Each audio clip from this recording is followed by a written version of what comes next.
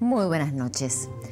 Hemos presentado este como el último capítulo de Mea Culpa de esta temporada, pero debido a los reiterados llamados de nuestro público, es decir, de usted, que nos ve cada miércoles, hemos preparado para la próxima semana una edición especial de Mea Culpa que será toda una sorpresa.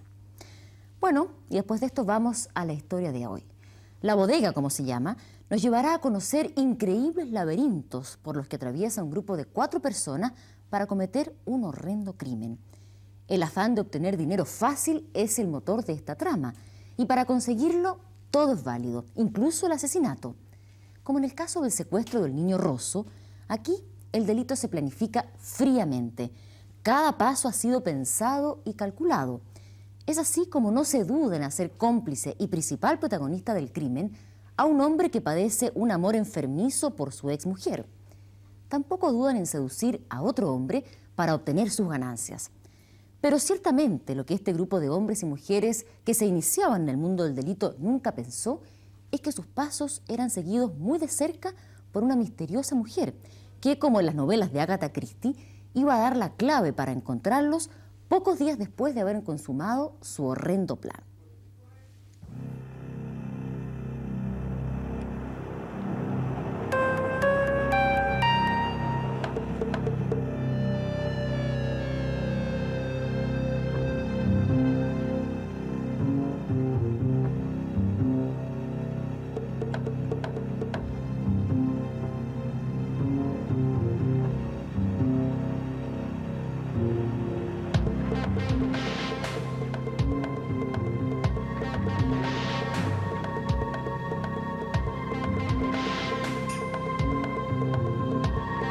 Estamos en la cárcel pública de Santiago.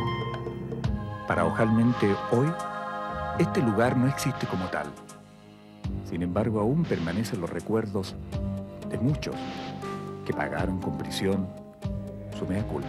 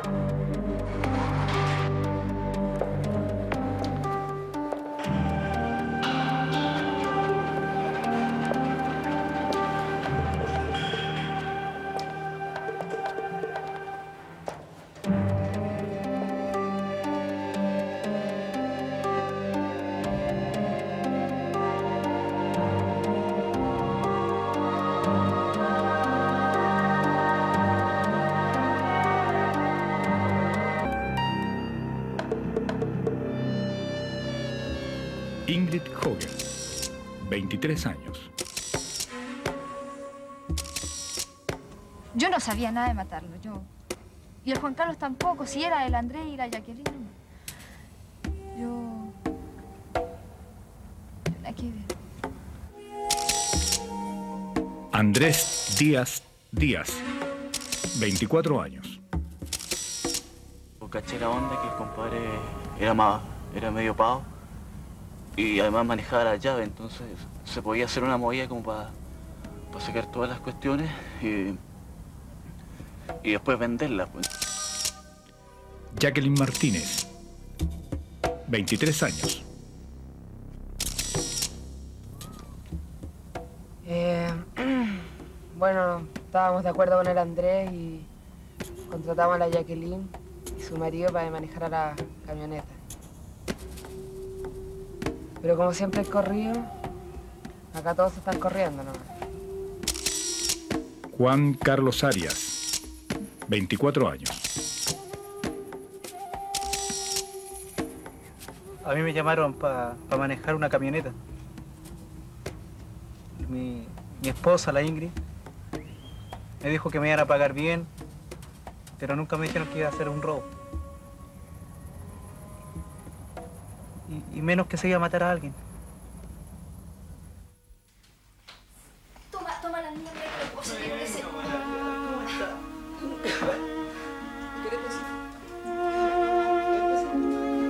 Oye, ¿con quién va a quedar Fernanda? Con mamá. Este es el matrimonio formado por Ingrid Hogue, Juan Carlos Arias y su pequeña hija. Como es común en muchas parejas, el paso de los años va desgastando la relación y los roces y contradicciones comienzan a aparecer con mayor frecuencia. Muchas veces la actitud machista, cada vez más lapidaria e incisiva, se torna como la razón fundamental para que una mujer con aspiraciones tome la decisión de abandonar definitivamente su hogar. Así acontece en esta ocasión. Ingrid decide separarse y deja de común acuerdo su hija al cuidado de Juan Carlos. Este último, no obstante, queda solo y profundamente enamorado de su mujer. Ella, bueno, una decisión mutua, eh, dejó la casa. ¿ya? Yo me quedé con la niña. Esa, fue, esa era la, fue la determinación. Sí, había separación, pero con la niña me quedaba yo. Luego de permanecer algún tiempo en Brasil, Ingrid decide regresar a Santiago y termina compartiendo habitación con una amiga eventual, Jacqueline. Ambas viven experiencias similares, de modo que sin darse cuenta comienzan a compartir sus proyectos económicos y planes para el futuro. Repetidas veces, Ingrid recibió ofertas para reconstruir su hogar junto a su ex marido, pero la vida que ella llevaba le parecía más grata e interesante que volver a convertirse en madre y esposa. Aunque ella no poseía trabajo estable, siempre manejaba dinero o tenía acceso a mejores oportunidades. Como era de suponer en el marco de mujer separada, el núcleo de amigos que la frecuentaba era amplio y variado. Precisamente en este entorno conoció a Andrés Díaz, un extraño amigo de su compañera de habitación, quien siempre la visitaba dando aires de muy movido y de poseer grandes contactos comerciales. Aunque nunca se le conoció trabajo fijo, había que reconocer que sus alardes de grandeza eran tentadores y creíbles. De todas maneras, si yo me lo consigo. Las características de Andrés en realidad eran muy especiales. Quienes lo conocían lo encontraban un poco mentiroso, fanfarrón, cobarde, pero por sobre todo demasiado listo para engañar. Con planes no muy santos, recurrió en junio de 1986 a visitar a su cuñada Teresa Segura, quien era secretaria de la tienda deportiva Aqualun. Hasta aquí llegó con su currículum y con la pretensión de conseguir trabajo. Aquí comienza a tejerse lentamente un oscuro plan. Andrés promete esperar a su cuñada, pero mientras ella termina su trabajo, decide recorrer el lugar. Ya, listo. Ya, gracias, te pasaste. Este es el joven Carlos Soto, jefe de bodega de Aqualun. Está a punto de cumplir cinco años en el trabajo y sus méritos lo han hecho ascender con rapidez en la empresa. Andrés no azarosamente había llegado en su extraño recorrido hasta la bodega de esta tienda deportiva. Buenas tardes, ¿busca algo? Buenas Una rápida mirada al lugar y certeras indagaciones le permitieron evaluar la cantidad de dinero que había aquí en especies. Desde ese preciso instante, este hombre comenzó a urdir un ingenioso pero macabro plan. Hacerse amigo del bodeguero, darle muerte y finalmente robar.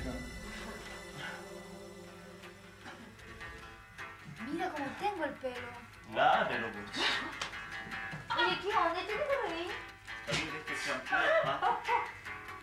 Andrés había confesado su proyecto mortal a su íntima amiga Jacqueline, a quien le había asegurado además una cuantiosa suma de dinero por su participación y la certeza absoluta que se trataría de un robo perfecto. Pero necesitaban un anzuelo para comprometer a Ingrid.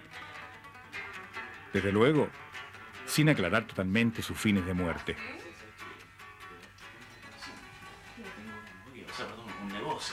Tiempo un amigo en una mercadería, que ya me la tienen embalada, guardada, entonces yo tengo que ir a buscarla. Está todo listo, ¿ah? Está todo listo. Ingrid tendría la misión de conocer al bodeguero, pololearlo y comprometerlo afectivamente para que en un descuido ellos pudieran acceder finalmente al robo. Como una medida de enganche le ofrecieron un buen sueldo al esposo de ella por solo manejar una camioneta.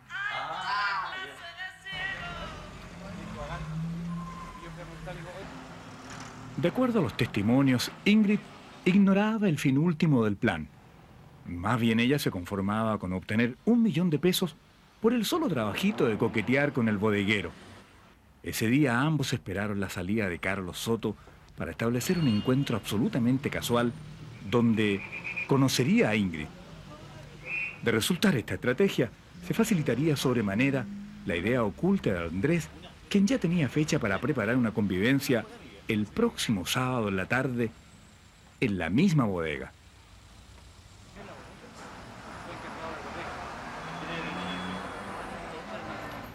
Claro, los despachos, Tiene todo ordenadito así.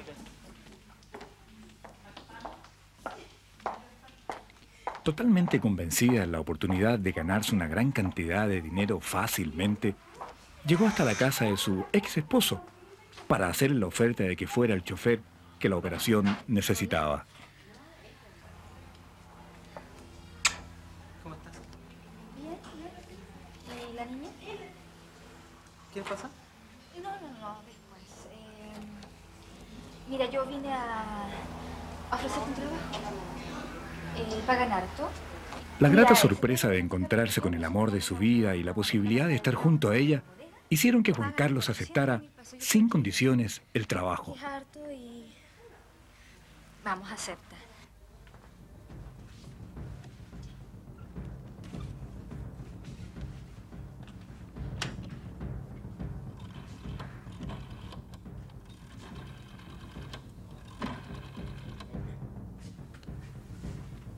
¿Aló? Ingrid. La Hola, maquinaria diabólica había comenzado a funcionar. Todos los protagonistas estaban en escena, pero solo dos sabían que este joven bodeguero comenzaba su cuenta regresiva. Carlos Soto había mordido el anzuelo, ignorando por cierto que aquella llamada le ponía fecha al día de su muerte.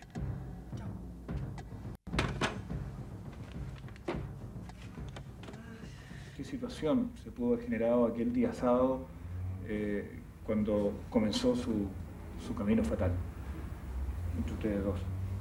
Una conversa por teléfono. Ese día sábado en la mañana, tipo 11 de la mañana, o 11 y media, no me acuerdo bien.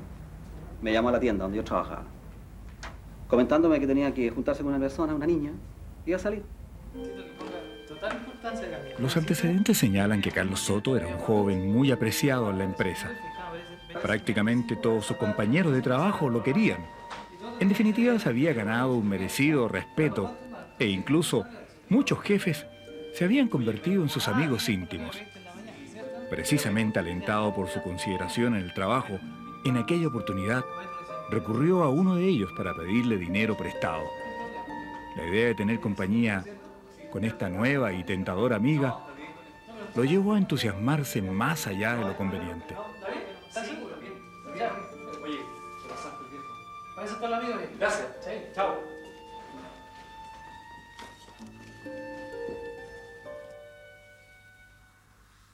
¿Aló? ¿Aló? ¿Aló? ¿Con quién hablo? ¿Con Ingrid? ¿Quién habla? Ingrid, Andrés. Hola, Andrés. Eh, te llamaba por la cuestión de cómo andamos. Bien, ya conseguí al chofer. ¿Quién es? Juan Carlos. Juan Carlos es mi marido. El plan marcha viento en popa, pero los autores desconocen que la dueña de la pensión comienza a convertirse en su cómplice silenciosa. Por supuesto que sí. Él está muerto por mí, así que va a hacer lo que sea por mí. No te preocupes. Listo. Chao, chao. Chao. El negocio, el robo, la muerte, todo comenzó a quedar registrado.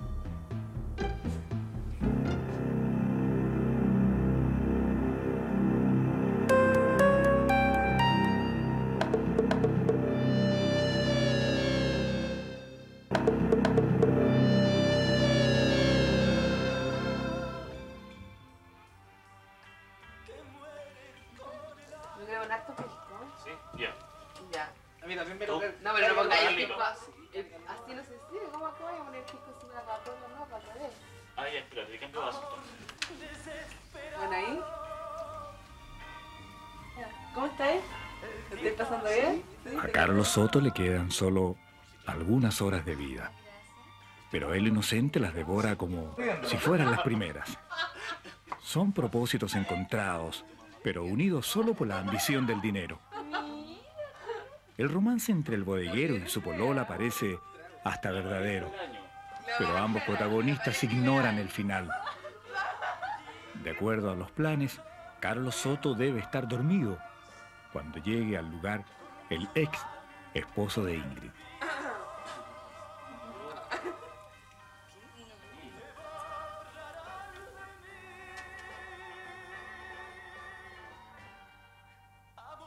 Él fue inducido tal vez o fue engañado. Como, no sé, él no lo contó, pero como nosotros subimos después que cuando se suscitó esto, él, a él lo, que llegó a la casa, nosotros dijo que iba a hacer un flete, nos contó, a hacer un flete en un camión y a salir. Y fue así. Él iba con esa idea que él iba a hacer el flete en el camión, que él iba de chofer. Ese sábado, 19 de julio de 1986, Juan Carlos Arias llegó hasta la bodega de Aqualún para llevar a cabo su trabajo de chofer. La idea de ver a su ex mujer y de ganar dinero habían alimentado en este hombre la posibilidad de ofrecerle a ella nuevamente la idea de estar juntos. La bodega de Aqualún, ubicada en Morandé 590, estaba cerrada, pero el portón se mantuvo entreabierto para permitir el acceso del chofer. Se suponía que la camioneta estaba cargada. Y ese fue el primer indicio de algo raro. Las pastillas para dormir, no obstante, habían comenzado a surtir efecto en Carlos Soto. Una de las personas que decidió darle el lugar como jefe de bodega, cosa que hoy día, al verlo desde más lejos, creo que cometí un error porque esa posición que, le entregué era por una persona con más experiencia. Yo hoy día creo que cometí un error.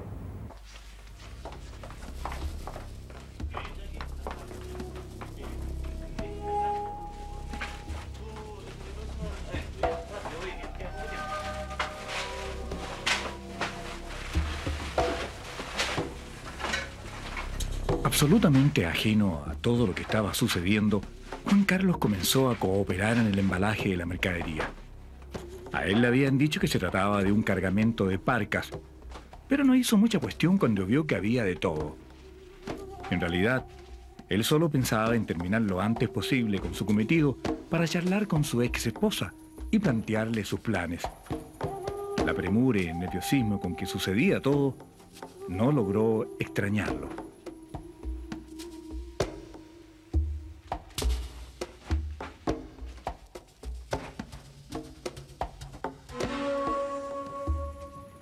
De acuerdo a lo pactado, se presumía que toda la carga de artículos deportivos necesitaba a lo menos cuatro viajes.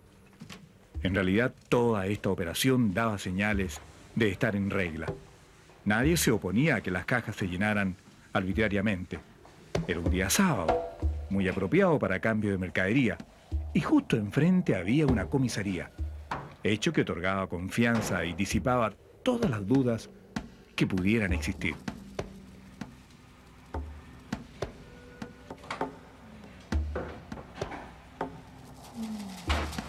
Entre tanto, el bodeguero no lograba entender qué estaba sucediendo a su alrededor. Sin hacer preguntas, Juan Carlos Arias comenzó a cumplir su papel dejando la mercadería en el sitio señalado. Ante la eventualidad que el bodeguero despertara, dejando traslucir el oscuro plan, la faena de embalaje y carga se realizaron con más prisa aún. Obviamente el único que estaba ausente de tanta premura era el chofer. Quizás lo único que comenzaba a inquietar a Juan Carlos era el escaso diálogo que existía entre los cargadores. Silencio que también comprometía a su ex esposa. Definitivamente las pastillas para dormir no resultaron del todo y la situación llegó a un punto climático.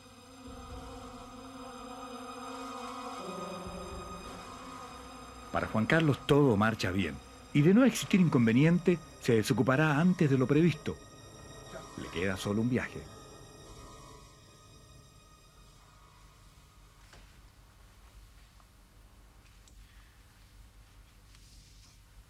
Oye, ¿dónde están sus amigos.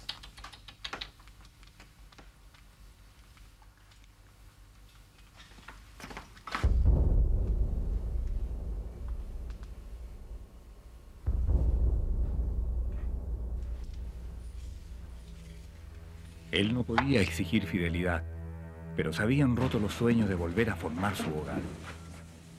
Una dosis de sedante mantuvo lejos al bodeguero, pero era inminente que despertaría.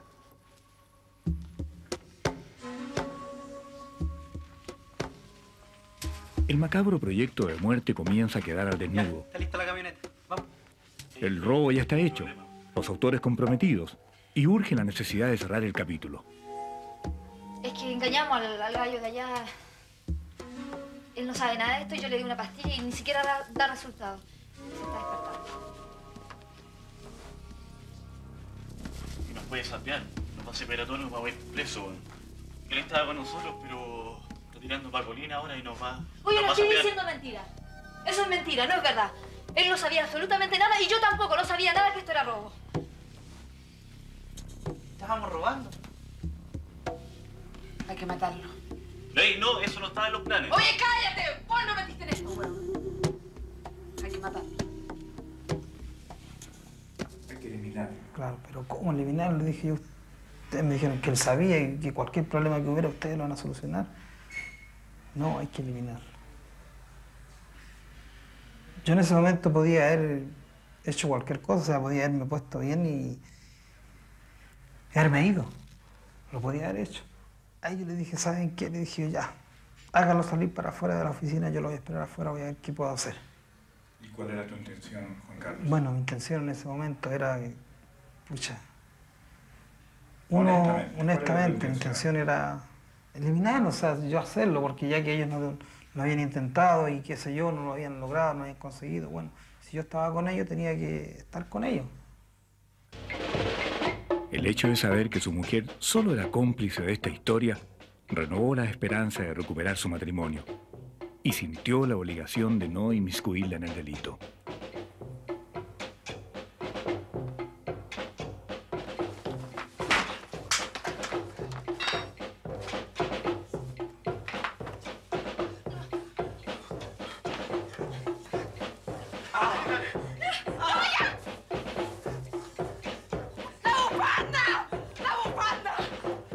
Episodio de la historia no hubo muestras de cordura. Si bien los minutos del bodeguero estaban contados, su muerte fue atroz, casi demoníaca. Murió estrangulado con una bufanda de mujer y el autor material del homicidio fue Juan Carlos Arias, el más ignorante del plan y el menos comprometido con el robo.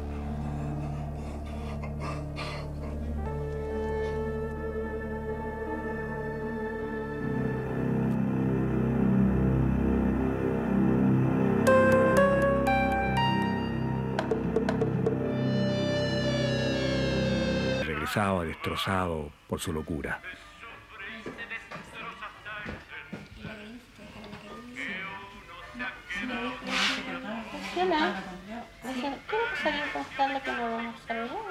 No pudo ocultar su nerviosismo y comenzó a sentir rápidamente su responsabilidad delictiva. Cuando esto sucedió, él llegó a la casa de nosotros primero, a contarnos que estaba en problemas y que no sabía qué hacer y que necesitaba plata, nos pidió ayuda. Nosotros realmente no sabíamos para qué era. Juan Carlos, pero ¿para qué? Dime, ¿qué te pasa? Porque andaba nervioso, era nerviosismo. Nunca lo habíamos visto así. Dice, no, pero es que no te puedo contar, no te puedo contar. La camioneta había sido descargada. Solo quedó en ella la caja que ocultaba el cuerpo de Carlos Soto. Frente a la pensión de estas mujeres, fue dejada durante toda la noche, sin sospechar jamás que gotas de sangre habían comenzado a caer, como delatando la crueldad del hecho.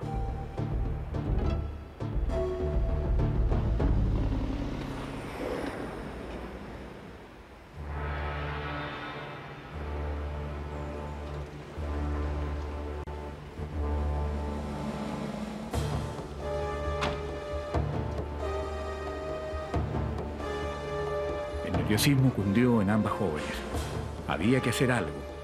Aún no llegaban Juan Carlos ni Andrés para trasladar el cadáver a un sitio planificado y enterrarlo. Mientras ello acontecía, Ingrid y Jacqueline tomaron la riesgosa decisión de limpiar la calle a vista y paciencia a los transeúntes, donde curiosamente las pequeñas gotas entintaron toda el agua.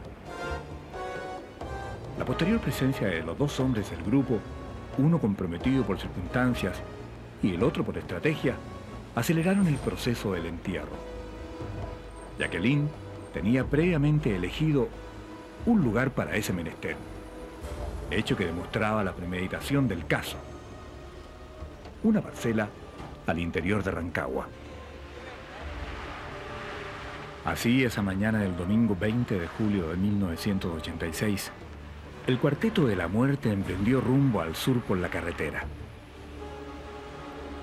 Mientras Ingrid y Juan Carlos solo querían terminar con esta pesadilla, Andrés y Jacqueline ya tenían planes para vender la mercadería. El lugar claramente elegido para el entierro de Carlos Soto estaba en Coinco, al interior de Rancagua, donde de acuerdo a testimonios, Jacqueline tenía parentesco con los dueños. Esa fría mañana de invierno interrumpió la tranquilidad del paisaje aquella camioneta con el grupo de enterradores.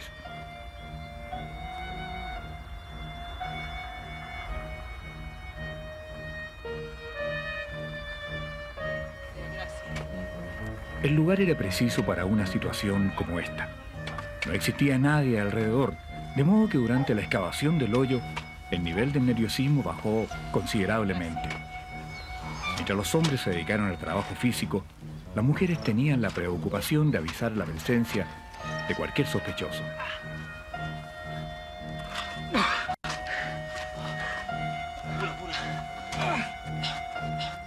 Para no crear mayores dificultades, se optó por enterrar al difunto en la misma caja.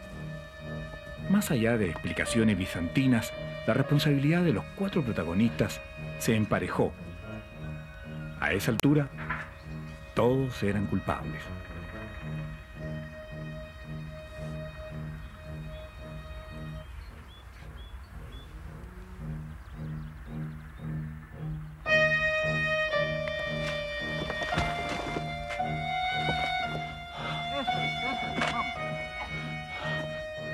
El lunes 21 de julio, ante la sorpresa de los empleados de Aqualun, se fraguaron las más diversas especulaciones sobre lo acontecido. El robo en ese momento ascendía a los 5 millones de pesos. Yo llegué a la oficina, nadie sabía que había, se había cometido un robo en la bodega, porque nadie podía ingresar a la bodega todavía. Por lo tanto, nadie asumía nada. Solamente se asumía que Carlos no llegó por alguna razón X. ¿En qué momento eh, se asumió eh, la calidad del robo? Cuando se fue a la bodega y se abrió la, la bodega. Y se, y se vio que yo, que había mucho desorden. ¿Y cuál fue su posición? Yo no estaba ahí porque yo en ese momento estaba tratando de, de ubicar a unas personas que me habían dado eh, una información que sabían dónde podría estar Carlos. Cuando usted supo posteriormente que había sido robado el lugar, Sí. eh, ¿creyó en la culpabilidad de Carlos Soto? Sí. Sí, todo, yo y yo creo que todo el mundo de un momento, qué sé yo, porque fueron una semana de que Carlos no apareció. Yo no me acuerdo si en el primer momento creí o en el último momento, pero dentro de, la, de esa semana, de esos 10 días, sí, a mí me hizo, se me hizo Yo pensé que en algún momento puede haber sido él, que que está involucrado en todo esto.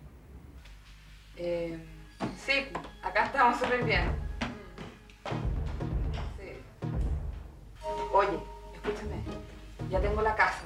Ya está todo solucionado. La dueña de la pensión siguió prolijamente cada paso de este macabro plan hasta tener certeza de que no había error. Vale, confianza. Nosotros conversamos con ella, fue muy importante, porque ella, a través de, la- de- de las comunica- comunicaciones telefónicas que tenían los, autores, los hombres con, las- mujeres que actuaban este delito, eh, la, mujer que le arrendaba la casa o, el departamento a estas mujeres, eh, a través de la línea telefónica, escuchaba todos los, comentarios que ellos hacían con respecto a cuándo y cómo iban a cometer el delito. Cuando la dueña de la pensión unió este rompecabezas telefónico, llamó a la policía de investigaciones. La larga historia era muy coherente, de manera que esperaron que ellas se encontraran presentes para abordarlas. piel, se le ve bien. Teresa, bueno, un poco.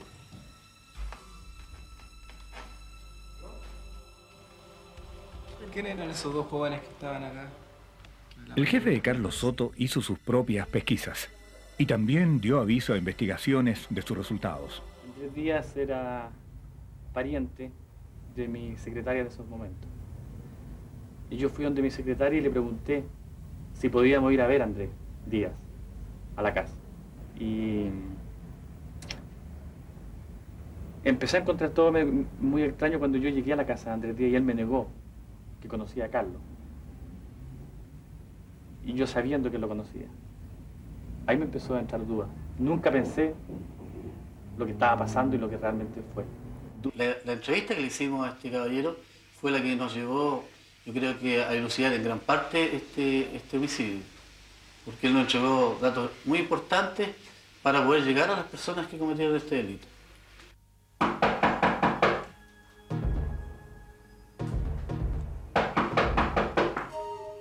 Hasta ese instante todo indicaba que se trataba de un robo, de manera que la policía buscaba el paradero del bodeguero.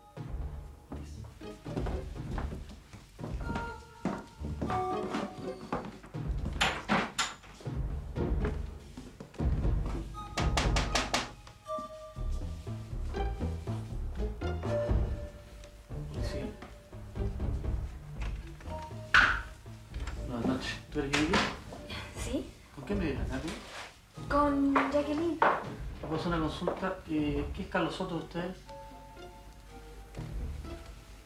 ¿Lo conocen? Sí, claro, es a- amigo. Amigo. ¿Tú eres familiar de Juan Carlos? Es, es mi ex marido. ¿Conocen a Andrés?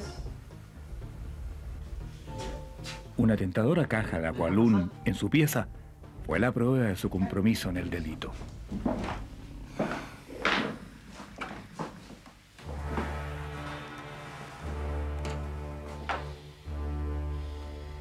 Van a tener que acompañar, señorita.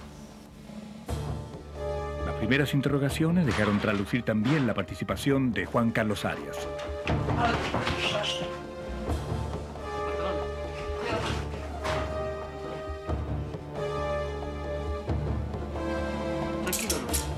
La madeja comenzaba a desenrollarse. El robo se convirtió sorpresivamente también en homicidio.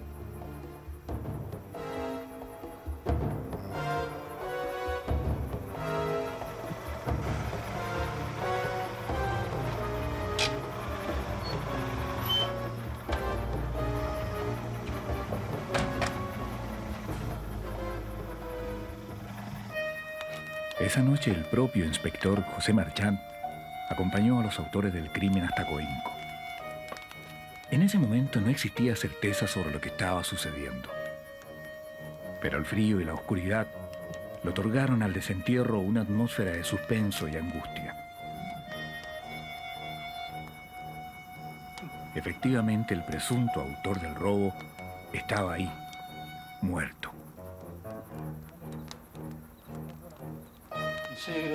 Que puede haber sido más víctima de este hecho de, las cuatro personas es el, es el sujeto que, actuó como, como chofer, esposo de una de, la- de las mujeres, porque él, a él le dijeron de que estaba todo arreglado, entre comillas, con personas que trabajaban en la, empresa. Por lo tanto, él eh, pensó que era una cosa más o menos fácil, era trasladar especies de un lugar a otro nada más. Y después se dio las circunstancias que fue finalmente el que actuó eh, mayormente en el delito mismo. Estamos en la cárcel de Colina, el destino de Juan Carlos Arias. Este recinto penal es considerado modelo, pero los muros no dejan ver su dolor. Son muy pocos los que acceden a conocer esta forma de vida. Aquí no existe obligación de trabajar, entonces la lucha diaria es matar el día a como dé lugar. Estas carpas son sus hogares diurnos. Solo algunos logran conocer los patios, pero ningún extraño accede a estos lugares. Aquí solo deambulan los reos. Nuestra cámara recoge con avidez estos testimonios de una vivencia inédita para el espectador, el interior de la cárcel modelo de Colina. Estos felinos que se cruzan sin escrúpulos no se crían de mascotas, sino que sirven de comida cuando ya están más crecidos. Un gato aquí es una inversión. Ahí está Juan Carlos Arias, compartiendo un dormitorio con decenas de hacinados compañeros. Está solo, como esperando nuestra visita a veces amarga y angustiosa, pero también profundamente reconciliadora del alma. Fue condenado por su delito a 20 años de prisión. Es decir, cuando salga de aquí, su querida hija por la cual tanto luchó, probablemente ya esté casada. Fui a ver a Ingrid. Le dije que por qué, si ella ya se había ido, ya había hecho daño, había abandonado a su niña, lo había dejado solo, lo habíamos visto llorar, lo habíamos visto sufrir por ella. ¿Por qué? ¿Por qué volver con ese daño? ¿Por qué volver a buscarlo para hacerle daño? Este lugar está hecho para vivir las penas del infierno en vida. Después de salir de aquí, volver a delinquir es una locura. Sin embargo, el 52% de ellos regresa una segunda vez. La niñez de su niñita, la juventud de su niñita, todo, todo, todo lo perdió en un minuto. Eso no me convencía yo, eso yo no. El, mismo, ¿cuánto se llama que lo vino a buscar? El detective que lo vino a buscar, me decía, así es la vida, señora, me decía, me conformaba porque yo no, yo no me explicaba por qué lo hizo, cómo lo hizo.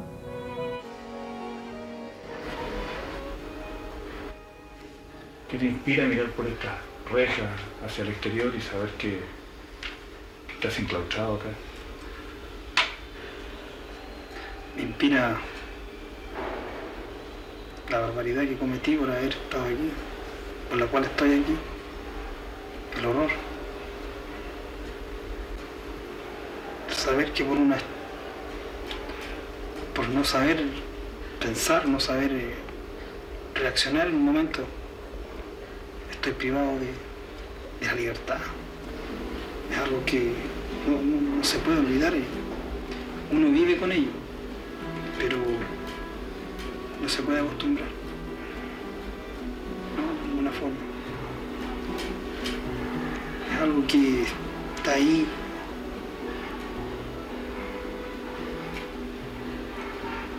Que es doloroso. Que es doloroso porque uno no- no- en ese momento uno no, no medía la, la consecuencia, el, el significado que tenía eso, quitarle la vida a una persona. ¿Y tú nunca pensaste en tu ejemplo?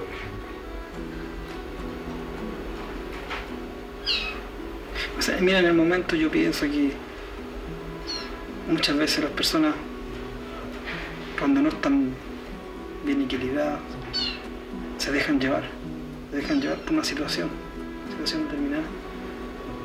Y a lo mejor fue lo que ocurrió conmigo. Yo no estaba bien en ese momento. Fui víctima. Fui víctima, ¿sabes de qué? De haber sentido esa obsesión, porque no es amor. Yo considero que no es amor porque el amor muchas veces el amor es bueno, el amor es sano, el amor no tiene maldad. El amor, el amor verdadero. Si hubiera sentido realmente ese amor, lo habría analizado. Lo habría analizado y habría dicho, no, no puede ser. Piensa en tu hija, es mi hija. Entonces no lo considero amor. Considero que fue culpable por la obsesión que yo sentía por una persona. Sueñas con la libertad. Todos los días, cada momento, cada segundo, sueño con la libertad. ¿Estás arrepentido de lo que hiciste, corazón? Enormemente, enormemente. ¿Piensas que el castigo que te ha correspondido por estar privado de libertad es un dolor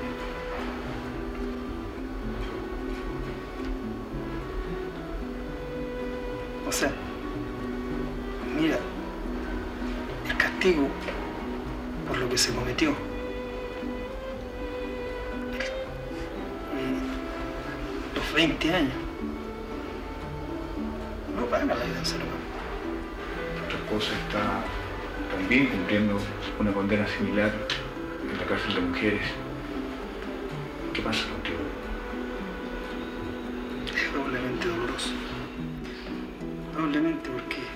solo saber el hecho de que mi hija está falto de las dos personas que más se quieren en el mundo, creo que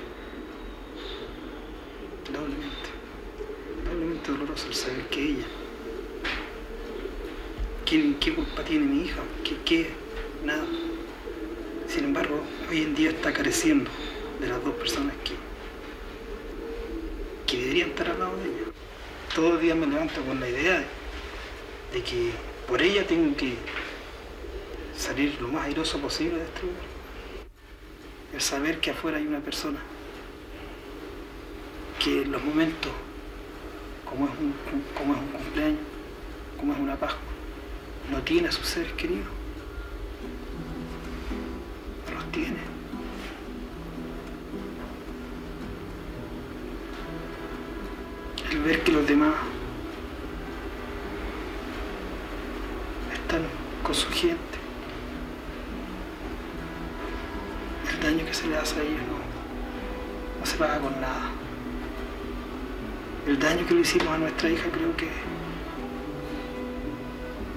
Es mayor aún que el daño que se ha hecho uno o que le ha hecho a otras personas.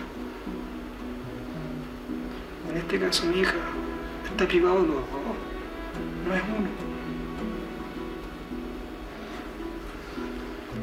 puede tener de todo.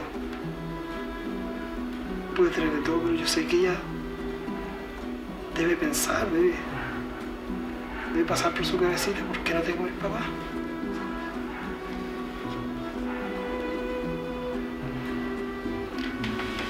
Es donde está la responsabilidad de uno, el no haber pensado mejor, no doloroso.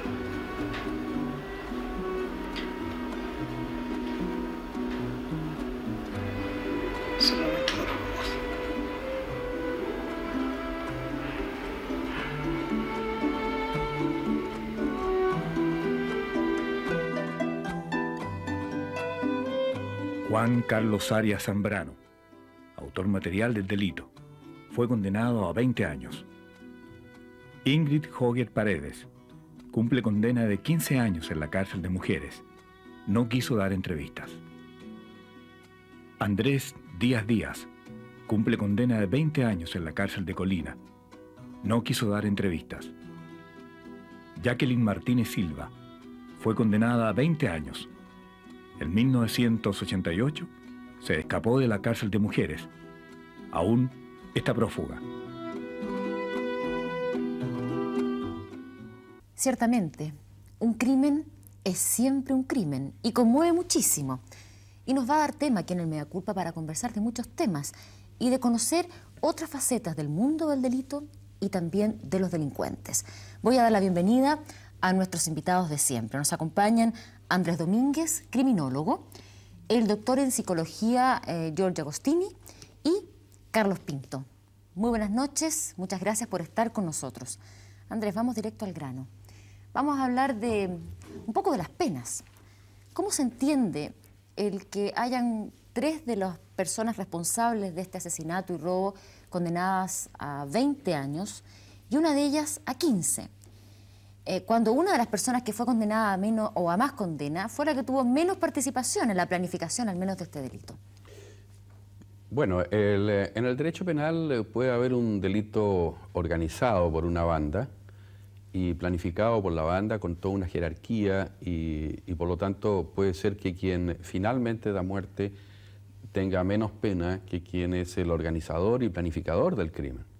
Pero aquí no se da el caso de una banda criminal, aquí se da un encuentro de circunstancias entre personas eh, que se van de a poco coludiendo para producir un delito en común, que es el robo fundamentalmente, y finalmente surge una persona que con un proyecto muy personal, que es eh, reconquistar eh, el cariño de su ex eh, esposa y, y manifestarse delante de ella con una cierta audacia y una cierta capacidad. Y como él mismo dice, para después con lo que va a obtener del delito irse a vivir tranquilo con ella y en paz, digamos, es bastante paradójica la forma de vivir en paz. Eh, él va y eh, decide tomar él el papel de homicida. Y por lo tanto el juez no toma en cuenta eh, el resto de las circunstancias porque no se trata de una, un crimen organizado a través de una jerarquía de mando eh, que él se haya visto obligado a obedecer.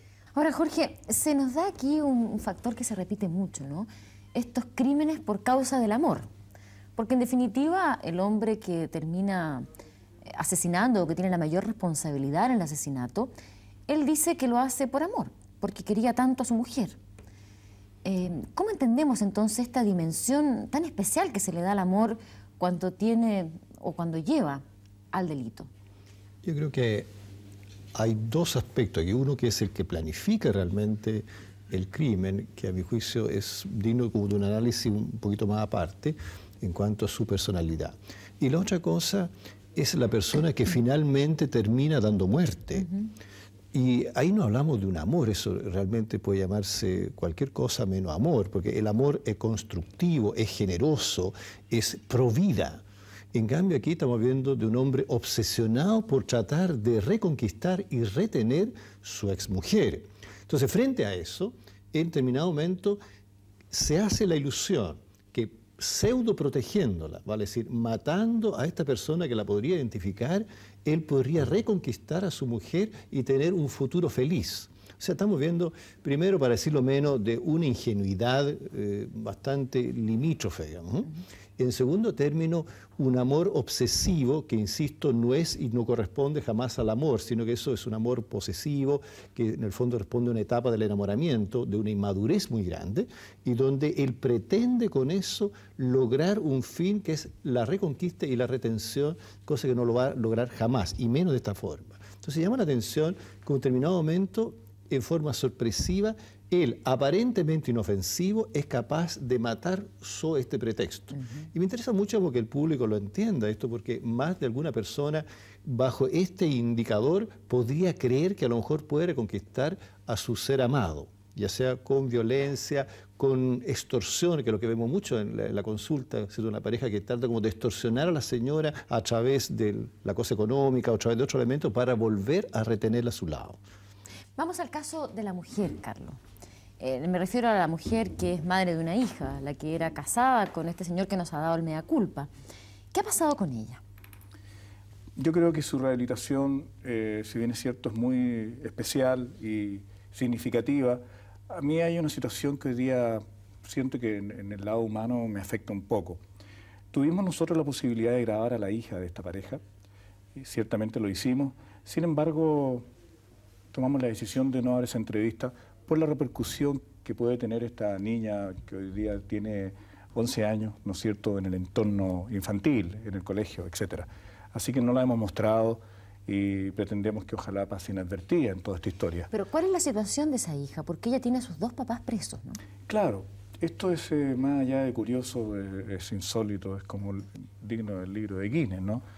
Ella tiene que dividir sus días libres, sábado y domingo, los fines de semana, para ver una semana al padre en la cárcel de, Colina, la próxima semana ve a la madre en la cárcel de mujeres, la próxima en Colina al padre y así sucesivamente.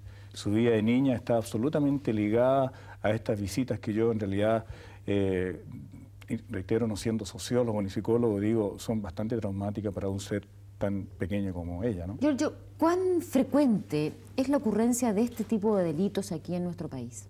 Habitualmente lo que se da eh, esta situación en dos circunstancias especiales. Una en aquella en que hay escasez de alimentos, que son sociedades que en determinado momento la escasez hace que la banda se organice como para poder subsistir, pero jamás llegan al crimen. Y en el segundo término, lo que tenemos que tener mucho cuidado, y es bueno esto sobre todo para la, la, autoridad más pertinente, que en nuestra sociedad de consumo, que se convierte en una sociedad muy de consumismo, las personas en determinado momento pierden su norte, pierden su, ubicación en la escala valórica que se supone que nosotros hemos insistido tanto aquí y lo hemos privilegiado tanto a la familia en ese sentido y en este caso, perdóneme la disquisición, eh, aparece una familia poco constituida, o sea, estamos viendo en esta persona que realmente no hay esta base sólida familiar que entrega valores y que la está insertando dentro de la sociedad. Entonces, en esta persona, fácilmente con esta pérdida, digamos, de valores reales o, digamos, profundos, convierte el hecho de consumir algo como un bien per se y un sentirse bien per se. Y de ahí reitero de nuevo esta señal que sobre todo nosotros tenemos que ser bastante enfáticos en señalar que si bien la sociedad, como la estamos contemplando hoy día, tiene sus ventajas ah, en cuanto a que nos trae mejor bienestar material, económico, tecnológico, pero también puede atentar muy seriamente estos valores y haber un grupo siempre marginado que en determinado momento va a hacer uso de esta violencia absolutamente inadecuada. Cecilia, eh, el 54% de las personas encarceladas es por delitos contra la propiedad. Y dentro de ese grupo hay un porcentaje importante que es eh, con robo, eh, de robo con violencia en las personas. Y un porcentaje de ese robo con violencia es con homicidio de la persona a través del robo. Por lo tanto, es, una, es un delito que es bastante más, eh, desgraciadamente, habitual que lo que nosotros quisiéramos que fuera. Ahora, lo que señala muy bien Jorge es que estamos nosotros frente a un tipo de incentivo social permanente al consumo eh, extraordinariamente grave. Porque hoy día, por ejemplo, el endeudamiento de la familia a través del consumo es atroz. ¿eh? Y del endeudamiento de la familia a, eh, a, la baja de la calidad de vida de la familia al pagar intereses de, todo un sistema, digamos, hasta el desviar las verdaderas necesidades básicas en vez de invertir en educación, en alimentación, en salud, en, calidad de vida básica, bueno, se termina eh, yendo hacia bienes absolutamente superfluos que llevan a la angustia familiar y a veces a la desintegración de esta, y por último incluso al delito, al, de la estafa, al del robo, a diferentes situaciones. De tal manera que este elemento de consumo es un elemento bastante desintegrador si acaso la sociedad no tiene educación para el consumo. El consumo está muy bien mm. y ojalá que todos pudiéramos ir accediendo y mejorando el consumo. Pero eh, si no hay una orientación y un contenido y la familia no se ve fortalecida en eso, también trae la desintegración y el delito. Yo quisiera por último tener algunas pequeñas eh, antecedentes de qué sucedió con los otros dos delincuentes. Hay una mujer que se fugó de la cárcel y hay otro hombre que, que era este embaucador, como se ha descrito aquí, que no quiso dar testimonio. Carlos, ¿qué nuevas eh, antecedentes o pistas nos puede estar, dar usted de ellos? Bueno, yo conocí en una conversación muy ligera a Andrés Díaz Díaz, que es para nosotros el embaucador. Él definitivamente escapó de las garras de la televisión y dijo yo de esto no participo, no me interesa y, de un modo bastante categórico huyó de nosotros. En el caso de Jacqueline Martínez Silva, que sería la otra cómplice, eh, obviamente no la pudimos conocer, a la sazón estaba prófuga, cierto? Se escapó de la cárcel. Pero el 8 de este mes, vale decir, el 8 de, agosto, eh, fue encontrada bajo un nombre supuesto, es una información que yo acabo de tener. Ella ha sido detenida bajo el nombre María Cornejos Lago por hurto. Recién el día 11 de agosto, vale decir, está entrando nuevamente a la cárcel de mujeres. Ha dejado de ser prófuga, se ha mantenido bastantes meses en libertad y obviamente cometiendo delitos. Esto viene a hablar del perfil, digamos, lo que condiciona una situación de este tipo. Bien, estamos terminando el programa de hoy, que como les señalaba al principio, es el último capítulo de Mea Culpa. Pero no quisiera despedirme sin antes agradecer a nombre del canal la profunda colaboración que nos han prestado nuestros invitados. Andrés Domínguez, criminólogo, quien es profesor del Instituto Superior de Investigaciones y el doctor en psicología Giorgio Agostini.